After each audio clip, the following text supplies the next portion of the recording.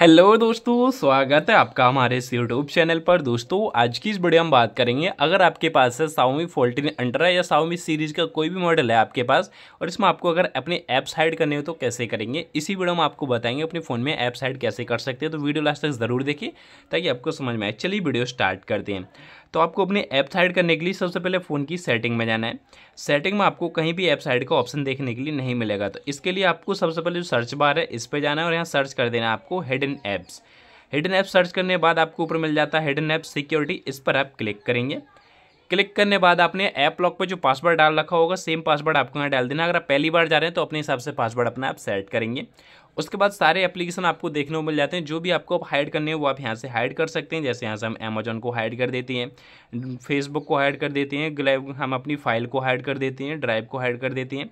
और भी एप्लीकेशन ले सकते हैं जो भी आपको हाइड करने हैं। तो यहाँ से हमने इतने एप्लीकेशन ले लिए हैं, जो कि हमें हाइड कर देती हैं। अब जो एप्लीकेशन हमने हाइड करे हैं, वो आपको अपनी स्क्रीन पे कहीं भी देखने के लिए नहीं मिलेंगे। इसमें जो ऐप्स आपने हाइड कर दिए हैं।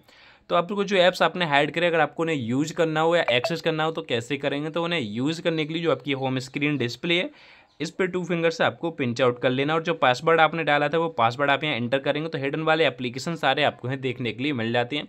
यहाँ से जाके आप उन्हें यूज़ कर सकते हैं और एक्सेस भी कर सकते हैं। तो इस प्रकार से अगर और ही ऐप्स आपको ऐड करने हैं तो प्लस वाले आइकन पर क्लिक करके आप ऐड कर सकते हैं। तो इस प्रकार से अपने फ़ोन में अपने ऐप्स आप हाइड कर सकते हैं। अगर आपको हमारा वीडियो अच्छा लगा हो तो लाइक करें शेयर करें। और चैनल पर नए हो तो चैनल करें सब्सक्राइब। तो मिलते हैं आपसे किसी नेक्स्ट वीडियो में।